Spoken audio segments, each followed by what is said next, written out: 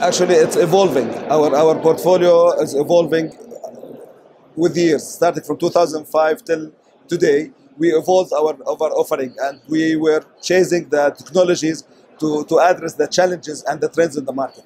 So now, nowadays, recently, two, three years ago, we, we, we noticed that the need of the market to, to, to take the journey of the digitalization and transformation journey, which require a lot of knowledge and a lot of new uh, process to be adapted within the, it comes to the automation and artificial intelligence using the machine learning to do the automation. The normal automation is not uh, sufficient anymore. You need to go beyond the automation and make it in an intelligent way and, and using the, all the new technologies of machine learning to adapt with the, with the automation uh, portfolio and division is uh, around the security. So we are covering the security inside out. Then we have the second division, which is the center cloud. And then we are continuing the journey with the intelligent automation.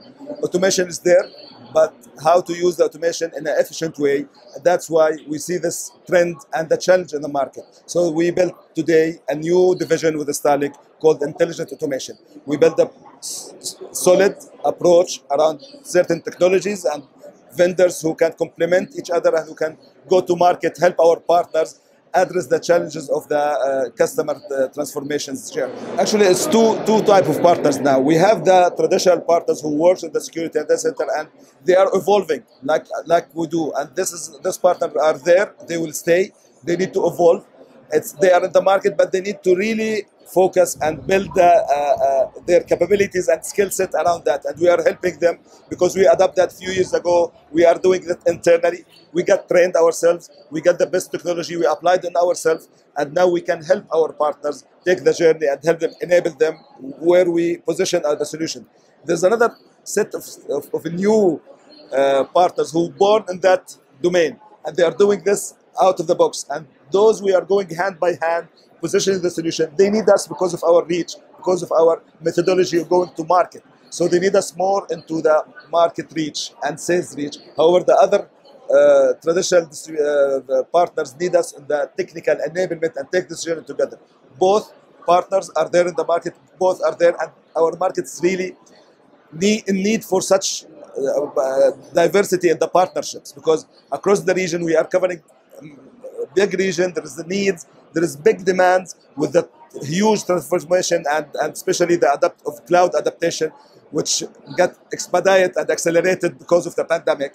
Now that need every effort needs, every partner is needed to play a role in that transformation journey. Uh, it's a, it's a continuous journey. I, I, would say still there is a long way to go, and that's why we step in, in and we started this journey a few years ago. We we equipped ourselves, we made ourselves ready we, we, we created a platform. Starlink represents a platform to help customer, vendor, and partner with that journey. So with the partners uh, in particular, we had this enablement learning. Before we set any target or sales uh, approach, we enable them, we train them, we get this concept within the our our uh, partner ecosystem, and we go this journey together.